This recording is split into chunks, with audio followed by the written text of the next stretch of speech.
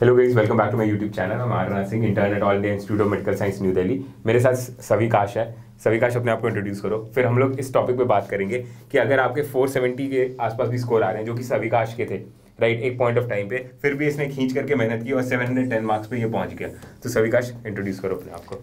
Hello guys, my name is Savikash Singla. I am from Bathinda, Punjab and my NEET score was 710 out of 720 and my all India rank is 43. Okay good तो यार guys, इस video में हमारा main focus ये रहेगा ना कि हम ब्रेक डाउन करें कि आपका स्कोर कम क्यों आ रहा है ठीक है? तो यहाँ पे हम लोग कुछ रीजंस लिख रखे हैं जो सविकाश ने मेरे को बताया था बिफोर शूटिंग द वीडियो कि क्या क्या इसके रीजन थे कि इसके 470 के आसपास का स्कोर आता था स्टार्टिंग में और इस रेंज में रह रहा था for some time then he made some changes and finally जब ये इस स्कोर पे पहुँचा 710 का तो क्या क्या रीजन है जो कल्मिनेट किए इतने अच्छे स्कोर में? राइट तो सविकाश रीजन वाइज बताना शुरू करो कि सिलेबस कंप्लीशन का मतलब क्या है? डिफरेंट इंस्टीट्यूट वाला जो हम लोग ने लिखा है पॉइंट बेसिकली इस कोर का रीज़न डिफरेंट हो सकते हैं हर एक के लिए। जो मैं हाँ। अपने बताऊँगा तो यही है कि मेरा मेनली होता है मैंने लोकल इंस्टीट्यूट से कोचिंग लेता था तो इसलिए मेरा मेन लैग होता था कि हाँ। जब भी आप डिफरेंट इंस्टीट्यूट के दोगे पेपर तो सिलेबस कंप्लीशन की हमेशा लैगिंग होती रहेगी। तो मेरा मेजर फैक्टर तो यही था कि मेरा सिलेबस ही नहीं कंप्लीट होता था। हाँ। इसलिए मेरा मतलब कभी कोई चैप्टर हुआ कभी नहीं हुआ। हम्म ठीक है। इसके तो- कारण स्कोर कम आ रहा था। ठीक है। तो एक रीजन तो यार आपको ये समझ में आ रहा होगा। देखो हम लोग क्या करते हैं ऐसे अ, हमारा नेचर होता है कि डिफरेंट इंस्टीट्यूट का पेपर दे दे ठीक है? तो उस पॉइंट ऑफ़ टाइम पे वो इंस्टीट्यूट क्या सिलेबस होल्ड कर रहा है उस पर्टिकुलर पेपर में? अगर हम उस वो सिलेबस हमारे इंस्टीट्यूट में अगर कंप्लीटेड नहीं है तो डेफिनेट सी बात है आपका मार्क्स कम आएगा तो उस पर आपको दिल नहीं बैठाने की ज़रूरत है। The point of this video यार कि आप एक्चुअली अपने प्रॉब्लम को पहले आइडेंटिफाई कर पाओ फिर हम लोग सोल्यूशन देखेंगे और ये सविकाश के सोल्यूशन थे। ठीक है? तो सविकाश ये बताओ दूसरी चीज़ ये। दूसरा ये हो सकता है कि आपका खुद का एफर्ट कम हो कि आपने खुद ही टाइम नहीं लगाया उस चैप्टर्स पे हाँ। और अपना रिवाइज नहीं किया रीडिंग नहीं की एमसीक्यूज भी नहीं कवर किए। हम्म, हम्म, हम्म। ठीक है। तो practice कम यार ये रीड और रिवाइज क्यों नहीं हो पाता है स्टूडेंट का? तुम तु, तुम्हें क्यों लगता है कि यार तुम्हारा नहीं हो पाता था? मेन होता है कि सिटिंग थोड़ी सी कम होती है कई बार कि शुरू में चैप्टर्स मतलब जब टीचर ने करवा दिया कई बार हम लीनियंटली ले लेते हैं चैप्टर्स को, इतनी सीटिंग नहीं देते, लेकिन और जब टेस्ट होते तब एकदम से जब मार्क्स ड्रॉप होते हैं फिर हाँ। पता चलता है कि हाँ ये तो कम आता है। हाँ। है और फिर तुम सिटिंग कैपेसिटी के लिए तुम क्या करते थे? मतलब तुम्हारी स्टार्टिंग में कितनी थी? और एंड में जाकर के कितनी हो पाई थी? मतलब तुम्हें पता चला होगा ना कि यार मेरे को मार्क्स अपने इंप्रूव करने हैं ठीक है? तुम्हारे अंदर वो हंगर हाँ होगी तुम्हें लगता होगा तुम्हारे अंदर पोटेंशियल है यार हाँ करने का पर नहीं कर पा रहे हो क्योंकि तुम पढ़ाई में टाइम नहीं डिवोट कर रहे हो। हाँ। तो कितना तुमने अपग्रेड किया अपने टाइम शुरू में होता कि हमारे जैसे जैसे पेपर नज़दीक नहीं था तो थोड़ा ज़्यादा रिलैक्सेशन टाइम लंच हाँ। के वक्त जैसे एक घंटा भी लग जाता था लंच डिनर ब्रेकफास्ट एक दो हाँ। घंटे एक दो घंटे ऐसे चले जाते हाँ। थे दो तीन घंटे तो हर दिन के आराम से इसके अलावा पढ़ाई ट्यूशन्स होगी हम्म। सेल्फ स्टडी होगी उसके अलावा तीन चार घंटे वेस्ट चले जाते थे मेरे हाँ लेकिन धीरे धीरे जब मार्क्स के कारण थोड़ा सा अपने आप को इम्प्रूव करना के सोची तो फिर इसलिए अपनी सिटिंग बढ़ाई ठीक है तो यहाँ पे तुमने ये इम्प्रूव मतलब सिटिंग कैपेसिटी अपनी इम्प्रूव की और फिर स्टार्टिंग में कम एमसीक्यू प्रैक्टिस करते थे एंड में ज़्यादा किया?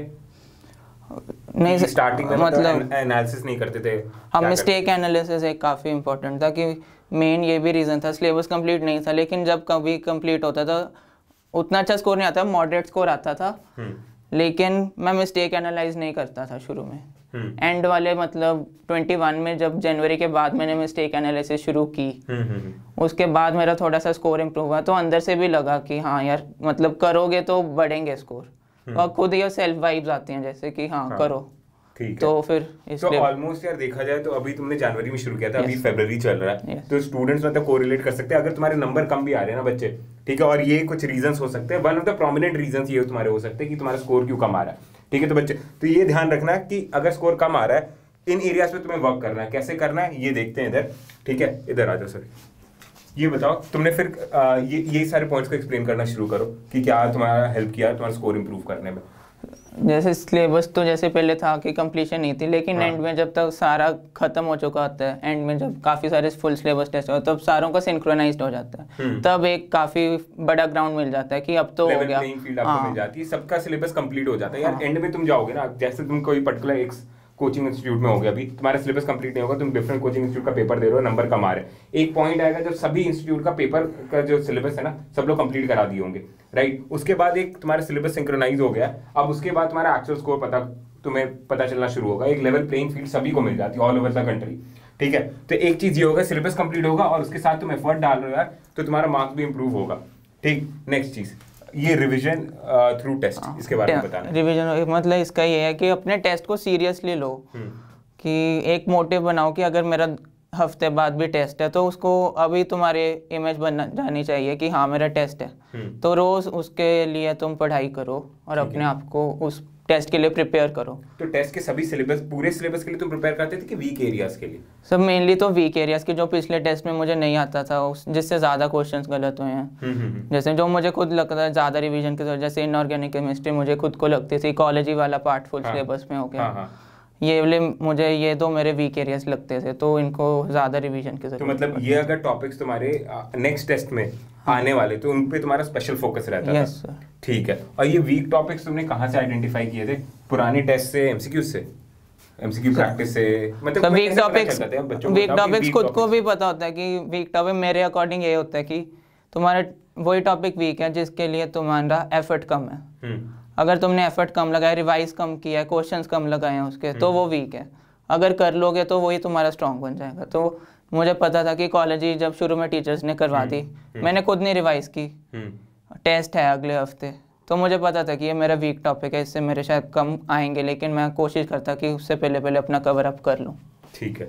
ठीक और नेक्स्ट पॉइंट हो गया ये एमसीक्यू प्रैक्टिस का हाँ। तुमने कितना मतलब एमसीक्यू प्रैक्टिस करना शुरू किया किस लेवल के एमसीक्यूज करना शुरू किया एम एक तो मतलब अपने लोकल टीचर्स के मैं करता था हम्म। और जो अचीवर्स बैच के एम थे वो मेनली था कि जिस चैप्टर की आपको बेसिक नॉलेज है मुझे जो लगता था बेसिक। नॉलेज है जिनकी हम्म। तो मेनली जो डिफ्रेंशिएटिंग क्वेश्चन है जो आपको मतलब सारा कुछ करने के बाद भी अगर कोई लाइन मिस हो जाती है तो इसलिए मैं मेनली तो मीडियम और डिफ़िकल्ट क्वेश्चन ही करता था मतलब तुमने क्वेश्चन बैंक में हाई क्वेश्चन बैंक पे और तुमने डिफ़िकल्ट और मीडियम Medium का filter लगा के, हाँ। ठीक है और फिर उनको प्रैक्टिस किया उन चैप्टर्स के लिए जो तुम्हें लग रहा है कि इसमें बेसिक नॉलेज है इनकी हम्म। लेकिन फिर भी अगर छूट जाता है तो उनसे कवर अप हो जाएगा ठीक है तो उससे तुम्हारा वो चीज़ें कवर कर Yes. और तुम कितना क्वेश्चन ऐसे कुछ टारगेट करते थे कितने एमसीक्यू दिन के करने हैं या फिर जब नीड बेसिस पे तुमने कंप्लीट कर लिया एमसीक्यूज सर ऐसे तो नहीं था कोई हम्म। पर्टिकुलर शेड्यूल कि इतने क्वेश्चंस लगाने हैं और टॉपिक पे है कि अगर वीक टॉपिक है उसके ज़्यादा लगा लो। हाँ। उसके सारे तरह के लगा लो इजी मीडियम डिफ़िकल्ट हाँ। लेकिन अगर स्ट्रॉन्ग है तो तो उसके सिर्फ़ कर लो। तो उसके सिर्फ़ डिफ़िकल्ट हम्म। और मीडियम लगा सकते हो। ठीक है वहाँ पे तुम टाइम सेव हाँ हो वालों को yes, रिपीट क्यों करना? वो चीज़ सीखो वो तो मेजोरिटी से भी हो रहे हैं आपसे भी हो जाएँगे। इतना कॉन्फिडेंस होना चाहिए अपने आप सही बात है। ठीक है। और फिर ये बताओ यार ये वाली चीज़ें जो होती हैं सिली मिस्टेक जो बेसिक इसका जो काउंटर करने वाला है हाँ, पॉइंट को काउंटर करने के लिए ये जो चीज़ है ये क्या हाँ। क्या तुमने की थी? मिस्टेक एनालिसिस में तुम्हें क्या क्या पता चला था? मिस्टेक एनालिसिस मतलब आपकी मिस्टेक एनालिसिस में काफ़ी सारे मिक्सचर ऑफ़ मिस्टेक्स होते हैं। कोई सिली मिस्टेक और कोई कंसेप्चुअल होती हैं। हम्म, कोई मतलब कोई आपने टाइम बाउंड मैनर में कई बार पैनिक हो जाते हो हम्म। क्वेश्चंस छूट जाते हैं या फिर आते जाते गलत हो जाते हैं। हम्म, तो मेनली मैंने उसको किया था कि अपने आप को मोटिवेट रखो कि हाँ मैं कर सकता हूँ। Hmm. Just because of panic मेरे गलत हुए हैं तो सेल्फ कॉन्फिडेंस उसके लिए काफ़ी ज़रूरी है। और सिली मिस्टेक तो मेन का यही होता है टाइम बाउंड और सिली मिस्टेक काफ़ी आपस में लिंक्ड है। ठीक है। और फिर आउटसाइड एनसीईआरटी And outside उनको- वो मतलब मेरे दिमाग में कि एन पेपर क्योंकि देखा था टोटल एन सी बेस्ड आता है तो हाँ। उनका मैं प्रेशर नहीं लेता अगर गलत हुआ है कोई बात नहीं उसको माइनस करके अपने मार्क्स में कर लेता था अच्छा कूल ठीक है ये था और फिर तुम ये बताओ यार स्टूडेंट को पोस्टमार्टम एनालिसिस करना कितना इंपॉर्टेंट है हाँ। जो हाँ उसी समय तो- स्पेशली जो एन से करो वो एक तुम आप अपनी बुक तभी खोल लो हम्म। और उससे वो लाइन या पैरा तभी देख लो हम्म। सर्च मार लो ताकि आपको मतलब अच्छे से पता चल जाए कि मेरी कहाँ पर गलती है और अगली बार अगर वो आएगा हम्म। तो आपका सही हो जाएगा ठीक है। ओके और फिर यार ये बताना ये सैक्रिफाइस वाली चीज़ एक्सपेक्टेशन वाली चीज़ और रेट लिमिटिंग वाली फैक्टर जो तुमने मेंशन किए थे जो तुमने तुम्हें इस ट्रांजिशन में हेल्प किए। हाँ तो मेनली जैसे हम जब ये जर्नी शुरू करते हैं प्लस वन प्लस टू में तो यही दो साल होते हैं फॉर योर प्रेपरेशन तो उसके लिए कुछ सेक्रीफाइस मैंने किया था कि जैसे मैं पहले बैडमिंटन खेलता था प्रोफेशनली तो टिल टेंथ हाँ। तो उस इलेवन ट्वेल्थ में मैंने छोड़ दी थी। टू गिव योर टाइम ठीक है। Whole time to. This NEET preparation हाँ ठीक है। और स्टार्टिंग में क्या एक्सपेक्टेशन तुमने रखी थी? स्टार्टिंग में होता तो सारों का ये ड्रीम कॉलेज हम्म, लेकिन मेरा था कि मतलब जब स्कोर कम आता है आई मतलब डीमोटिवेट होने की जगह बस कंसिस्टेंट रहना। है हम्म, अपने आप को ऐसे समझना नहीं कि मैं इसके लायक नहीं हूँ या नहीं बस अपना एफर्ट करते रहो। ये मेन फैक्टर है। ठीक है।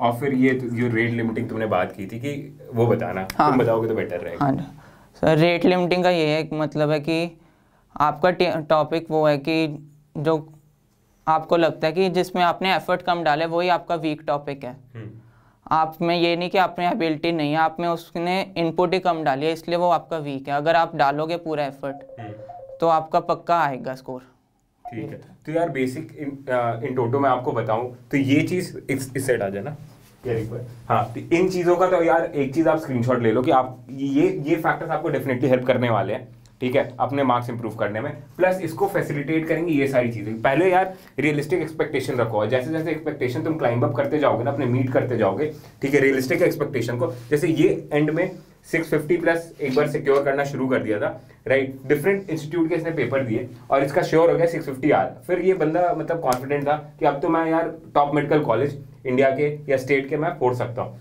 राइट उसकी, दूसरी बात जो मेरे को अच्छी लगी, ये रेट लिमिटिंग वाली बात।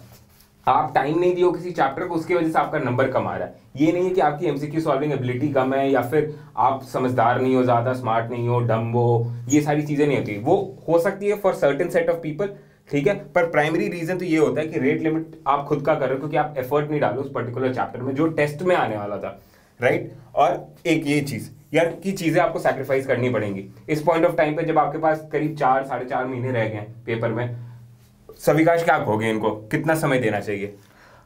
जितना ज़्यादा से ज़्यादा दे सको उतना मतलब- दो ताकि एंड में आपको रिग्रेट ना रहे। एटलीस्ट आपको एक ये होता है मतलब अपने आप में सेल्फ सेटिस्फेक्शन कि एटलीस्ट मैंने एफर्ट तो किया ना। हम्म।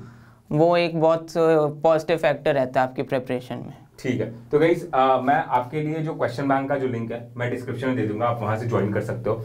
ठीक है? और आपको कोई और वीडियो चाहिए ठीक है? कमेंट सेक्शन में मेंशन कर दीजिएगा ठीक? और आ, आपको कोई और वीडियो सविकाश से चाहिए होगा तो मैं वो भी आपके लिए बना दूँगा। कमेंट सेक्शन मेंशन कर देना। All the best